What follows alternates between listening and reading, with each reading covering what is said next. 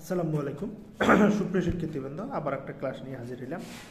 তা আজকে আমাদের ক্লাসের বিষয়বস্তু হচ্ছে দেহ তল্লাশি বা আটক স্থান তল্লাশি গেলে কী কী করণীয়, পালনীয়? তল্লাশি বাধাদানকারী ব্যক্তি সাক্ষীতে তল্লাশিতে সাক্ষী হইতে অস্বীকার ব্যক্তির বিরুদ্ধে আইনগত কী ব্যবস্থা আছে? তো সুপ্রিয় শিক্ষার্থীবৃন্দ, প্রশ্ন হচ্ছে দেহ তল্লাশি বা স্থান তল্লাশি কালে কী কী বিষয় পালনীয়? তল্লাশিতে বাধা প্রদানকারী ব্যক্তি তল্লাশিতে সাক্ষী হইলে হইতে অস্বীকারী ব্যক্তির বিরুদ্ধে আইনগত কী ব্যবস্থা আছে? তা সুপ্রিয় শিক্ষার্থীবৃন্দ, তাইলেই আবারও বলতেছি কোনো তাহলে সুপ্রিয় শিক্ষার্থীবৃন্দ, আমি আবারও বলতেছি, তাহলে বিষয়টা আপনাদেরকে আবারও বুঝে বলতেছি, চল্লিশের দিকে।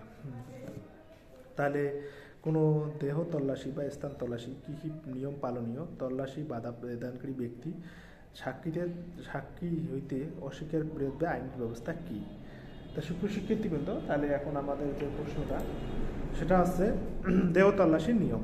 কোনো অভিষ্ট বস্তু পাওয়ার জন্য তল্লাশি করা হয়। কোনো ও অভিষ্ট বস্তু পাওয়ার জন্য তল্লাশি করা তাই সুপ্রিয় শিক্ষার্থীবৃন্দ, যেসব বস্তু হচ্ছে যে অবৈধ বা গোপন করে রাখা হয়েছে, যা মামলার স্বাক্ষর হতে পারে, সেসবের জন্য তল্লাশি করা হয়।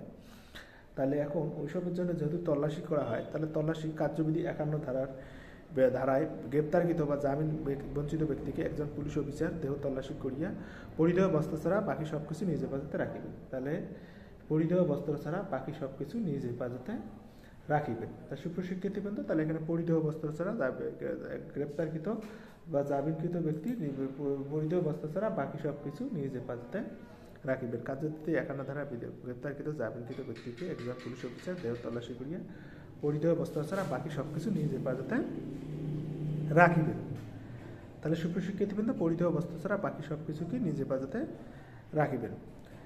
বাহান্ন কার্যবিধি বাহান্ন ধারা মোতাবেক গ্রেপ্তারকৃত কোনো স্ত্রীলোক দেহ তল্লাশি করিবার প্রয়োজন হলে তল্লাশির প্রতি স্বাধীনতার দৃষ্টি রেখে মহিলা বা অন্য পুলিশ অফিসার দেহ তল্লাশি করিতে পাওয়া যাইবে তা সুপ্রশিক্ষিতবৃন্দ, তাহলে কার্যবিধির বাহান্ন ধারা মোতাবেক গ্রেপ্তারকৃত ব্যক্তিকে, তাহলে সুপ্রশিক্ষিতবৃন্দ কার্যবিধির বাহান্ন ধারা মোতাবেক গ্রেপ্তারকৃত স্ত্রী লোককে দেহ তল্লাশি করিয়া প্রয়োজন হলে পুলিশ স্বাধীনতার প্রতি দৃষ্টি রেখে অন্য তলিতে তল্লাশি করবে। তাহলে কার্যবিধি একান্ন ধারায় গ্রেপ্তারকৃত জামিনকৃত ব্যক্তিকে একজন পুলিশ অফিসার দেহ তল্লাশি করিয়া পরিদেহ বস্ত্র ছাড়া বাকি সব নিজ হেফাজতে রাখিবেন।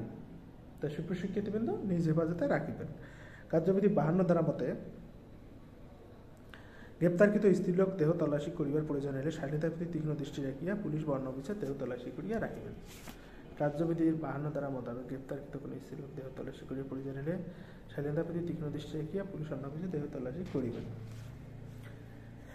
তাহলে এখন হচ্ছে সুপ্রশিক্ষার্থীবৃন্দ, স্থান তল্লাশি করার নিয়ম। কার্যবিধি একশো দুই, একশো তিন। তাহলে সুপ্রশিক্ষার্থীবৃন্দ, কার্যবিধি একশো দুই, একশো তিন একশো দুই, একশো তিন এবং পিআরবি দুইশো আশি মোতাবেক নিয়মিত নিয়ম অনুসরণ করিতে হয়।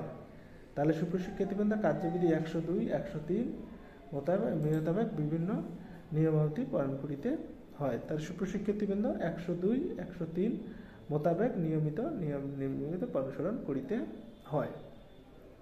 তাহলে সুপ্রশিক্ষার্থীবৃন্দ কার্যবিধি একশো দুই, একশো তিন নিয়মিত পুলিশ অফিসার আদেশক্রমে যদি তত্ত্বাবধায়ক বা মালিক অনুমতি না দেয়, তাহলে বল প্রয়োগ করে ঘরে ঢুকে তল্লাশি করতে হবে। এখন বাড়ির মালিক যদি তল্লাশির অনুমতি না দেয়, তাহলে বল প্রয়োগ করিয়ে তল্লা বলে তল্লাশি করে ঢুকতে হবে।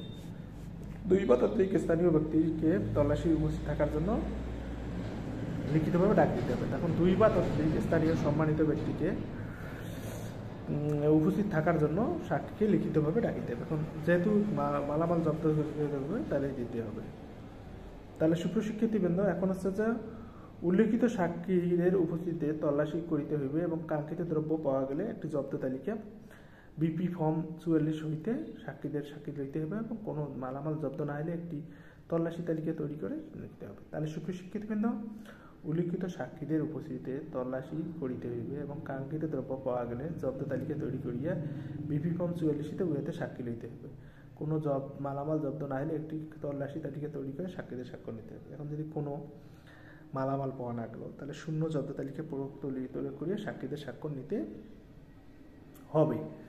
পুলিশের তল্লাশি দলে যারা থাকিবেন, তাদের প্রত্যেকে তল্লাশি আরম্ভ করিবার পূর্বে সাক্ষীদের দ্বারা শরীর তল্লাশি করিতে হবে। এখন পুলিশ দলে যারা তল্লাশি করিবে, তাদের মানে সাক্ষীদের দ্বারা তাদের দেহ তল্লাশি করিতে হবে। এখন পুলিশের দলে যারা থাকিবেন, তাদের প্রত্যেকের তল্লাশি আরম্ভ করার পূর্বে সাক্ষীদের দ্বারা তল্লাশি করিতে হইবে। লিখিত আদেশ দ্বারা ডাকা হইলে সাক্ষী হাজির হইতে বাধ্য, আইনত বাধ্য। এখন কাউকে যদি লিখিতভাবে ডাকা হয়, সে সাক্ষী আসতে বাধ্য। সাক্ষী বা অভিযুক্ত ব্যক্তি, তাহলে সুপ্রশিক্ষিতবৃন্দ সাক্ষী বা অভিযুক্ত ব্যক্তি, তল্লাশির মালিক, প্রতিনিধি চাইলে জব্দ তালিকার ভিত্তিতে এখন সাক্ষী বা বাড়ির মালিক বা যারা উপস্থিত আছে, তারা যদি কেউ জব্দ তালিকার কপি চায়, তাহলে দিতে হবে। ঘরের সন্দেহজনক জায়গাটি তন্ন তন্ন করিয়া তল্লাশি করতে হবে। এখন ঘরের সন্দেহজনক জায়গাটি তন্ন তন্ন করিয়া তল্লাশি করিতে হইবে।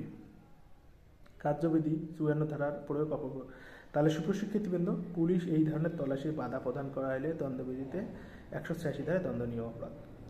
তাহলে এখন এই পুলিশ যে মানে বৈধভাবে তল্লাশি করতেছে, এখানে যদি কেউ বাধা দেয়, তাহলে সেটা দণ্ডবিধির একশো ছিয়াশি ধারায় দণ্ডনীয় অপরাধ। এবং তল্লাশি কাজে পুলিশ কর্তৃক ডাকা এলে সাক্ষী হাজির না হলে দণ্ডবিধি একশো একশো সপ্তাশি।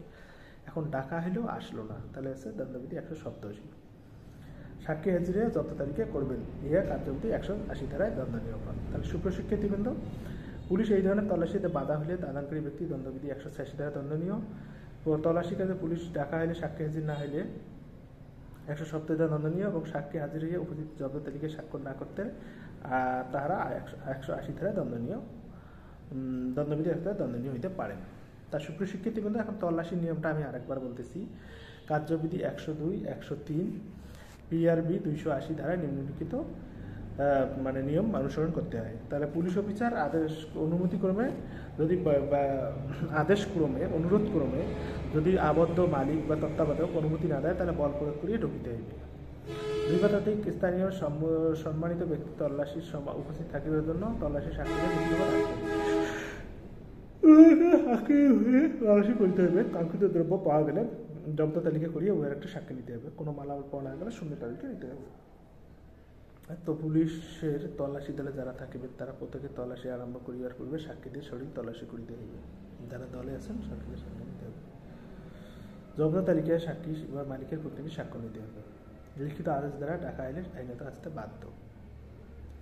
সাক্ষী বা অভিযুক্ত ব্যক্তি, তল্লাশির মালিক, প্রতিনিধি চাইলে এক কপি জব্দ তালিকা দিতে হবে। ঘরের সন্দেহজনক জায়গাটি তন্ন তন্ন করে খুঁজতে হবে। পুলিশের এই ধরনের তল্লাশিতে বাধা প্রদান করলে দণ্ডবিধি একশো ছিয়াশি ধারায় দণ্ডনীয় তল্লাশি কাজে পুলিশ ডাকা এলে সাক্ষী হাজির না হলে একশো সপ্তাশি ধারা দণ্ডনীয় সাক্ষী হাজির হইয়া তল্লাশি করিয়া অস্বীকৃতি জানালে একশো ধারা দণ্ডনীয় তাহলে সুপ্রশিক্ষিতবৃন্দ তা আমার ক্লাস যদি ভালো লাগে প্লিজ প্লিজ আপনারা আমার চ্যানেলটা সাবস্ক্রাইব করুন, গাণিতিক জিজ্ঞাসা পেজে লাইক দিন, তা পরবর্তী ক্লাস দেখার আমন্ত্রণ জানিয়ে আজকে এখানে শেষ করছি। আসসালামু আলাইকুম, সবাই ভালো থাকবেন।